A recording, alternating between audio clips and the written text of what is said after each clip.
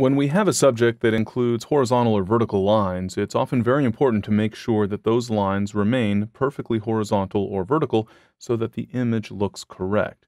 Many cameras include a built-in level feature. You can also put a bubble level into the flash hot shoe, for example. Or of course, you can just eyeball the view through the viewfinder and adjust the camera position to ensure that horizontal or vertical lines remain perfectly straight. Of course, I'm sure you can appreciate that in this case, I have intentionally rotated the image so that we had a crooked line. I simply couldn't find an image of my own that had a crooked horizon. At least I hope you might consider believing that.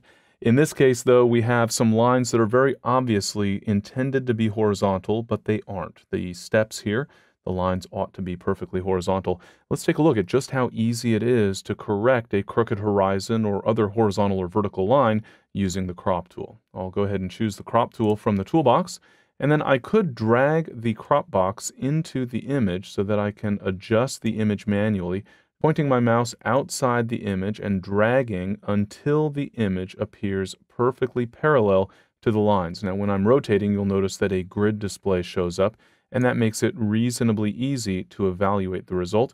I can then adjust the outer edges of that crop box, making sure that all four corners fall inside the actual image area. But it actually can be a little bit easier than this. I'll go ahead and press escape to cancel that crop, and then on the options bar with the crop tool selected, I'll click on the straighten tool. Now I can simply click on one end of one of the straight lines, in this case one of the steps, and then drag across the image. You'll see that this gives me a line, which I can align with the straight edge, in this case the top of the step, in the image. I usually try to make that line as long as possible, just because it makes it a little bit easier to evaluate and helps make sure that I'm getting the most accurate results possible. And then when I release the mouse, you can see that the image is rotated automatically, so that the line that I identified with the straighten tool is now perfectly horizontal.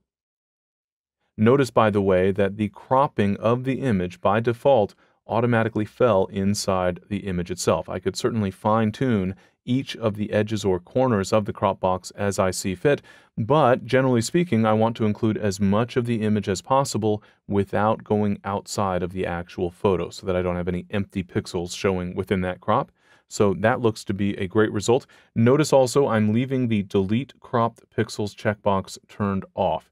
That way, the pixels that fall outside the crop box will not actually be deleted. They'll still be outside of the actual canvas area for the image so that I can always get back to them later if need be but this looks to be a good crop and more importantly, a good straightening of the photo. So I'll go ahead and click the commit button on the options bar. And you can see that because I had the delete cropped pixels checkbox turned off, I no longer have a background image layer. The layer is now called layer zero because that background has been converted to a normal image layer. But that's perfectly fine. That's part of this non-destructive process of cropping.